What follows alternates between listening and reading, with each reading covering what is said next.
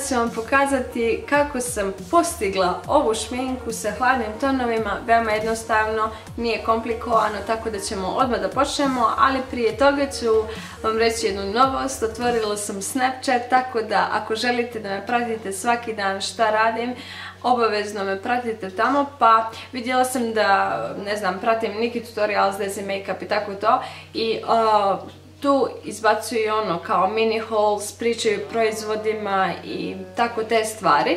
Tako da ako budete i vi zainteresovani za tako nešto, znači ko zna možda ću i tu da radim slične stvari. Tako da obavezno me pratite na Snapchatu, moje ime je Makeup Artist Vanessa i da, to bi bilo sve, tako da odmah počnemo sa ovim videom. Završila sam cijelo lice da bi e, ovaj tutorial bio što kraći, tako da ću odmah da počnem sa očima i stavit ću Soft Ochre kao bazu. Soft Ochre Paint Pot kao bazu. I uzet ću moj kameni puder koji trenutno koristim, ovo je Healthy Balance od e, Bourjois. Znači bilo koji kameni puder će završiti taj posao i sa većom četkom ću malčice znači da fiksiram ovu bazu tako da će se sjenke baš bolje blendovati bit će vam puno lakše da ih blendujete.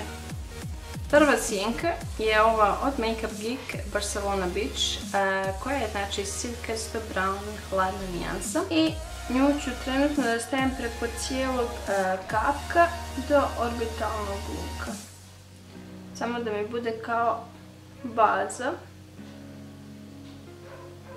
Jer iskreno nisam sigurna što radim. Inače da uzmem jednu malo više ovako fluffy četkicu i sa istom sjenkom ću da prođem preko orbitalnog luka.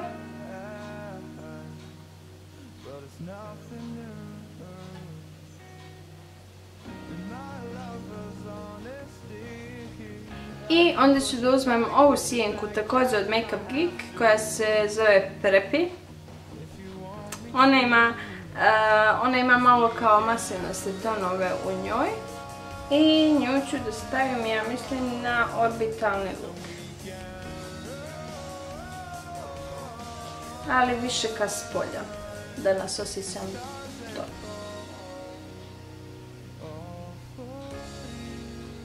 Ipak stavit ću je na kraj oka, ovako, i na orbitalni luk.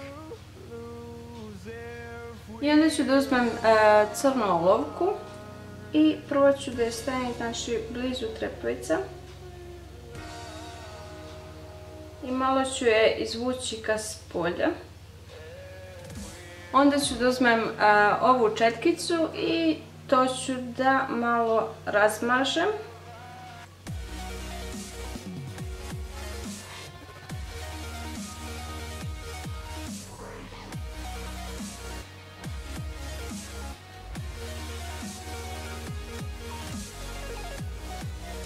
Onda ću da uzmem ovu tamniju, e, znači sivkastu nijansu. Ova je također od Makeup Geek i naziva se Moka. I nju ću da stavim na kraju oka od linera ka gore.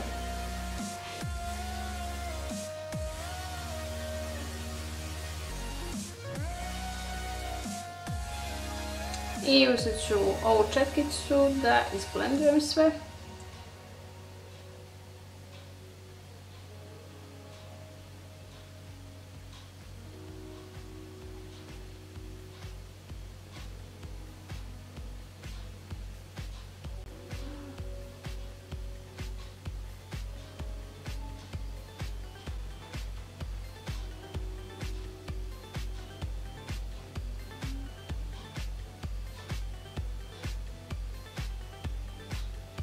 I koristit ću gel liner od uh, L'Oreala.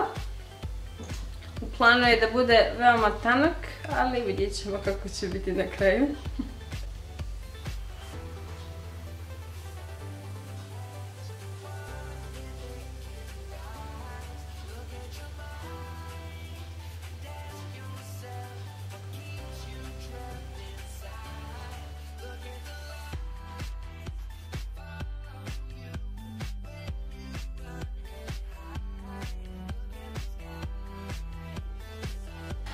Sada kad sam stavila liner, vidim da mi treba još malo ovdje nešto tamnije.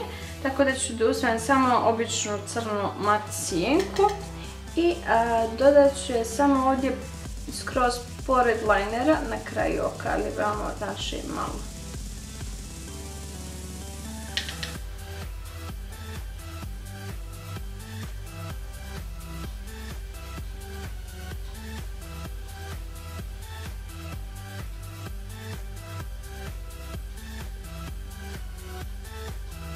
Zato što mi je e, cijelo oko mat, stavit ću ispod obrve nešto sjajno. Ovo je sjenka od Makeup Geek Shima Shima, koja je ekstremno sjajna. Ali e, stavit ću prvo znači baš na centar ispod obrve. I tu želim zaista da mi sija i onda ću da je izblendujem znači sa strana. Ali znači neću da stavim previše, samo malo da se presijava. I onda ću opet uzmem crnu olovku i da je stavim na vodenu liniju. I stavit ću je na kraju, također malo i ispod trepavica. I opet ću sa ovom četkicom da izblendujem znači olovku.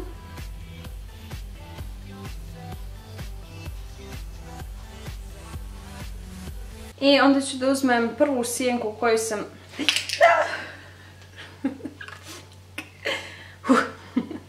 Stres. I onda ću da uzmem prvu sjenku koju sam koristila Barcelona Beach i izblendovat ću ovu olovku.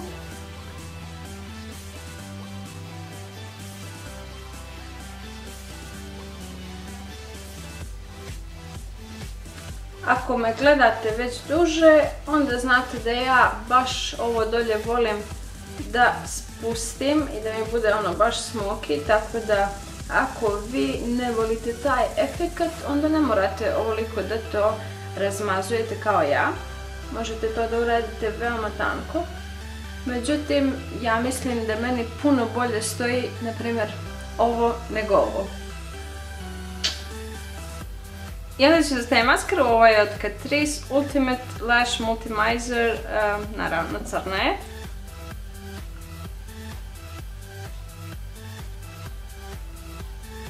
I mislim da ova šminka zahtjeva trepavice, tako da ću da koristim ove od Ardell 101 koje su malo ovako više dramatične.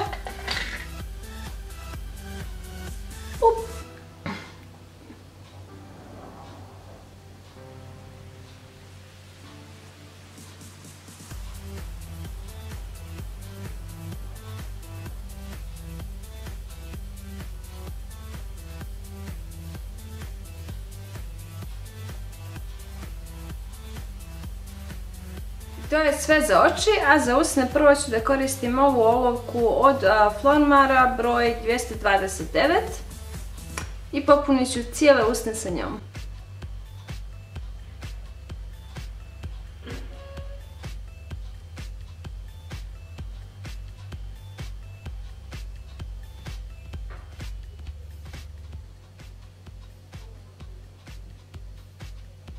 Preko ću da stavim ovaj tečni ruž od Aure nijanse 6.1 My Beloved.